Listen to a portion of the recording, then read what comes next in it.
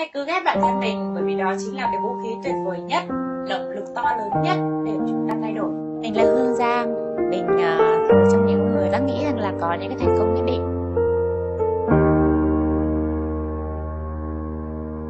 Giang ghét mình đã quá quan tâm đến cái việc của người khác nghĩ gì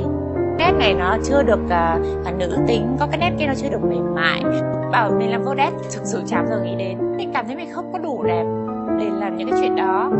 nhưng mà chắc chẳng bao giờ có một cái cơ hội như thế cho một cái tên hương giang thì cái lúc đó nó thật là mình mình rất ghét bản thân.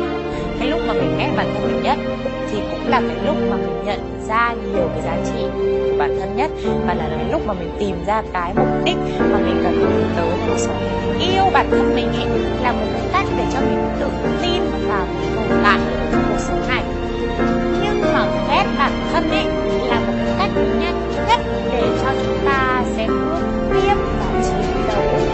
chiến đấu hơn với những cái thành công trước mắt hãy hành động